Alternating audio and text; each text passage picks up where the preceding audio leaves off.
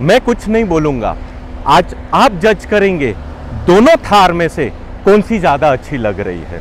Welcome back friends my name is Tanveer from big auto accessories Vashi Navi Mumbai आज आने का purpose कुछ different था। ये थार रॉ है, जो शोरूम से आई है। ये modified by the big auto accessories है। आज डिफरेंस भी बताना था। आज आप लोगों को ये भी बताना था कि मॉडिफिकेशन क्यों ज़रूरत है मॉडिफिकेशन क्यों किया जाता है। मैं जो हर वक्त बोलता हूँ स्टैंड आउट आना चाहिए, किस तरीके से आता है, जो आज मुझे बताना है आपको। ये थार शोरूम से आई है, ना ग्रिल चेंज की है, ना हेडलाइट चेंज की है, और ना ही बम्पर को हमने ब्लैक कलर किया हुआ है। आप देख सकते हैं इसके अंदर। ये रॉ थार है और ये मॉडिफाइड थार है। इसमें ग्रिल चेंज की हुई है, हेडलाइट्स चेंज की है, प्रोजेक्टर फोक लैंप्स लगाए हैं, लेकिन जो बम्पर है, जो फ्रंट प्रोफ़ाइल है, उसे जो फुल ब्लैक कलर का हमने किया हुआ है, आप स्टैंड आउट देख सकते हैं दोस्तों ये चीज़ में। अगेन, अभी मैं नज़दीक से बताना चाहूँगा दोस्तों, ये कार में पूरा हमने पीपीएफ कोटिंग की हुई है, जो सेल्फ हीलिंग के साथ आती है। ये जैसे मैं नाखून वगैरह मतलब कुछ भी आप बोल सकते हैं। नाखून तो छोड़िए, जो कपड़ों के निशान आते हैं, जो रोड पर जब हम चलते हैं, जो स्टोन्स दी है, बिल्कुल भी इसमें होने का चांसेस नहीं है। The safety of our car घरवारी की पीपीएफ की हुई है। ये कार में पीपीएफ नहीं की हुई है।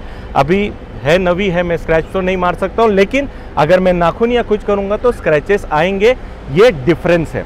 अभी ये रॉ थार है। इसमें इंटीरियर कुछ भी हमने अपग्रेड किया ही नहीं है दोस्तों। आप देख सकते हैं चेकआउट कर सकते हैं। ना हमने कार्बन किया है, ना स्पार्कलिंग की है ना डोर पैडिंग की हुई है, ना ही सीट कवर्स लगाए हुए हैं हमने। ये रॉ थार है। अभी मैं आपको बताऊँगा कि मॉडिफाइड थार किस तरीके से होती है। The wow factor the modified Thar है। डोर पैनलिंग की फिनिशिंग देखिए स्पार्कलिंग की फिनिशिंग वर्क आप देख सकते हैं दोस्तों। Steering just see the finishing of the steering AC के जो वेंट्स हैं सीट कवर्स हैं एक एक इसकी फिटमेंट फिनिशिंग मैटिंग मतलब this is the next level upgraded बोल सकते हैं मॉडिफाइड थार बोल सकते हैं।